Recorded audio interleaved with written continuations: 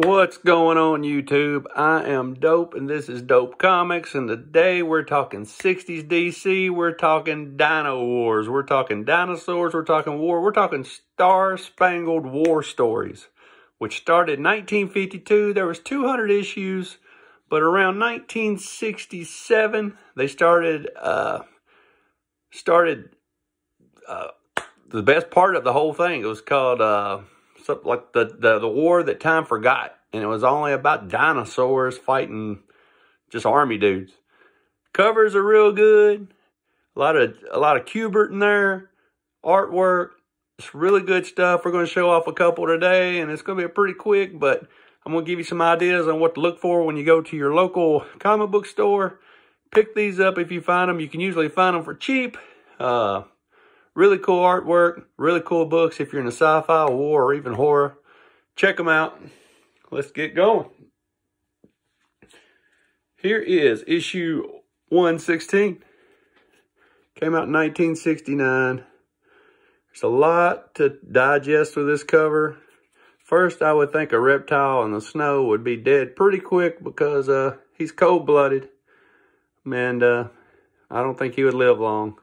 And then these two guys down here, if you look, they're from the Suicide Squad. It says right there. And uh, anytime you ride a sled downhill into a giant dinosaur, it is a suicide mission. Uh, these two dudes, I don't know where they're stationed at and what fucking army they're in, but if you join an army and you're a team of two and they give you a sled, quit the army. Just go to prison. Do what you got to do. Because if you stay out here in war with a sled, you're going to be dead. I mean, it's no good uphill. It's no good on flat ground. It don't have brakes. A damn two-man sled team with a machine gun on back of a sled fighting a dinosaur. I don't know. A cold-blooded dinosaur in the snow at that. So this is 116. Cool art. Silly story, just like I like. Now this cover, when I first saw it, got me thinking. I was sitting at the red light in my little shitty Versa, thinking what all nerds think about. Could a T-Rex really flip a, a tank? Or would the tank just flatten this motherfucker? And after lots of thinking, I think that uh, a tank would run the fuck over a T-Rex. I don't think the T-Rex is going to eat up the tank. I don't think the T-Rex is strong enough to bend this barrel. I don't think a T-Rex is strong enough to pick a tank up. I think this tank would flatten this T-Rex. And I only know one person that's in the Army. And, uh, Master Blaster, if you're watching this, leave in the comments what would really happen? Because I think the tank would run over the T-Rex. He would be flattened. There's no way this T-Rex could hurt this tank.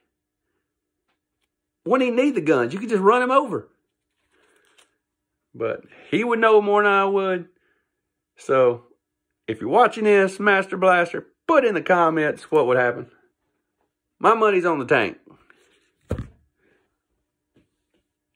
I sit around in my bed at night trying to sleep thinking about stupid shit like that. Look at here. This is a good one here. This is a Joe Kubert. I would think if you're in a damn fighter plane with, with machine guns, you'd be putting holes all in this T-Rex's long wingspan. It's like a damn hang glider. You ought to be shooting the shit out of this T-Rex. This shouldn't even be close. And look the way he's flying with his hand here. He barely got a hold. My money is on the modern day Japanese pilot over here. I guess it's Japanese. It looks like it's got the old rising sun on there. I don't, if you, if you're a pilot, a well-trained pilot in the 50s or 60s, and if you can't beat a slow-ass bird with a 150-pound Tarzan man on his back and a, and a I mean, he ain't even holding his damn machine gun right. He's got the old barrel up underneath his armpit. If he brings this down, this guy is a shitty pilot. But that is 129 right there. I got, I'm a great pilot, but uh, somehow a slow ass bird and a, a prehistoric man with a machine gun took us out. All right. Here we go. We got 132. I mean, there's a tree down here. So we got a T-Rex in a tree. And we got two G.I. Joes. Now, I'm thinking, might be another question for you, Mr. Master Blaster. But I'm thinking, a Glock or something to a T-Rex's head at point blank range? A T-Rex would be dead. I think these books make dinosaurs look a lot stronger than they are. Because I would think uh, point blank range, my money is on the G.I. Joe here. Could be wrong. That is 132. Who y'all got? G.I. Joe, point blank range? I'm thinking this shot is over with. Kill shot. Now this, this cover is dumb. This here is number 134. And if you look close, here's the back of the island. Here is the front of the island. The dinosaur is the length of the island. Why in the hell, if you're driving this boat, would you get this close? Just stay out here in the water and shoot this damn dude. I mean, you got close enough for the dinosaur to grab your boat? Don't miss the killing ground. Hell yeah, it's a killing ground if you get close enough to the ground. It's the damn width of the dinosaur. Just get the boat out here in the water and he can't get to you and shoot him from out there. Why, why did the damn driver of the boat get so close to that little ass island? It is a killing ground now. He got your boat. Y'all dead. And these two dudes, this is number uh, 135 was out there trying to have a damn sandwich on the beach. And this don't, I don't understand this. I mean, this is like storming the beaches of Normandy in 1944. The door let down, saving Private Ryan.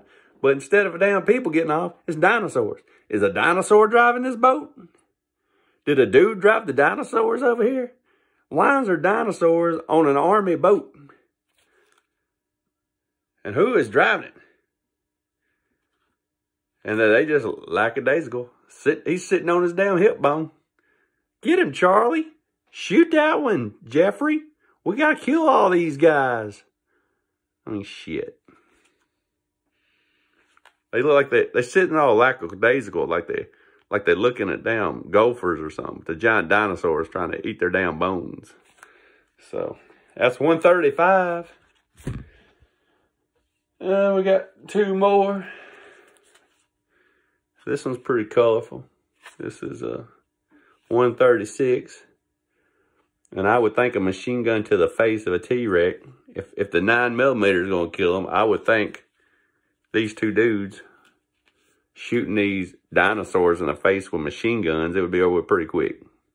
These damn dinosaurs ain't even bleeding. I mean, come on, man. Joe Kubert, get your stuff together, buddy. Dinosaurs wasn't invincible. Shit. All right, we got one more. We got number Star Spangled War, number 137. I gave a whopping six bucks for this. And this is one of the stupidest covers ever if you look at it close. We got a giant dinosaur. And what is he ripping up? Is that not a submarine? And if you look, the water is only ankle deep. Why in the hell did the submarine get in the ankle deep water. He was like a beach whale. He was just sitting there, hung. The water is ankle deep. Ripped the top off the submarine. These two guys ain't falling through the hollow tube. They just chilling. So I don't know what is going on with that. But it's colorful anyway. It's got to be colorful. So that is all of our Star Spangled War books today. Great series. Next time you go to your local comic book store, go to the S's. See how many of these you can find. These are, these are awesome books. And if they ever came out with a movie, I'd be the first one there. I'd love to see something like this, a generic, real, you know, real generic movie made. I'd like to see a series. Not not even good enough for Netflix. Let's put that shit on Tubi or something. Some real low budget shit. I'd love to see this. Love it. Sit around drinking Miller Lite and eat Chick-O-Sticks and watch that late at night. All right, today, bonus book, bonus book. Today's bonus book is we got some Frank Frazetta artwork. And when you think Frazetta, I think barbarians. I think swords and sorcery. I think Conan. I think that kind of stuff. But not today. Since we were talking war, I brought out the war cover. Yeah. 50s. Yeah. It's pretty cool. Check out how detailed that is. Frank Frazetta. Dude's moving a landmine. You know anything about that, Master Blaster? You know how to detonate landmines? This guy does. He's cooler, cooler than a cucumber is what he is. This guy back here's like, what you doing, Frankie? Don't move, Charles. Got my Bowie knife out. I'm going to take care of this landmine. Mind your business. So, they got it going on. This book here is from the mid-50s. I think it was, it's made by Famous Funnies. It's a heroic Frank Frazetta artwork. It's a really cool cover. Really cool book. So, that is your book of the day. And today, we have finished under 12 minutes. So if you like what you see and you want to see some more Oddball DC, because I've still got all kinds of DC we got to get to. Uh, can't wait to do like Witching Hour and uh, House of Secrets, House of Mystery, Sinister House. Uh, we got all that coming. We got Ghost. Uh, all that's DC 70s horrors coming. Uh, if you like what you see, slap the like button or slap the subscribe button. Join us and uh, just join the family, and we'll keep on putting out content. And uh, till the next time.